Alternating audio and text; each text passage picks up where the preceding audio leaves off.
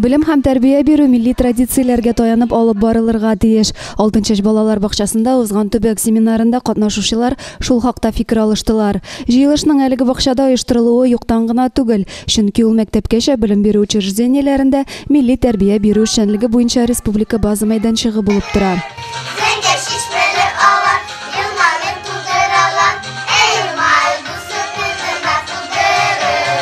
Безнең 6 яшь балалар респу- э, милли тәрбия бирү буенча республика база мәйданчыгы булып тора. Без әлеге юнәлештә барлык бакчаларны берләштереп торабыз.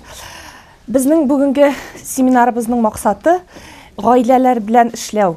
Гаиләләр белән эшләүдә милли традицияләргә таянып э, эшләүебезне күрсәтәсебез килә. Чарада Алабуга, Түбән Кама, Сарман районнарыннан килгән бакча мөдирләре һәм тәрбиячеләре катнашты. Семинарның пленар өлешеннән соң катнашучылар өчен аерым залларда мастер-класслар оештырылган иде. Татар халкының милли ашларын әзерләү, кагаздан түбәтәй ясау, пластилин белән рәсем ясарга өйрәтүне үз эченә алган дәресләрдән педагоглар канәгать калдылар. Гомумән 6 яшь балалар бакчасы бу көнне иҗади мәйданчыкка әйләнде. Күп кенә яңа әйберләргә өйрәтүләр, тәҗрибә уртаклашулар булды.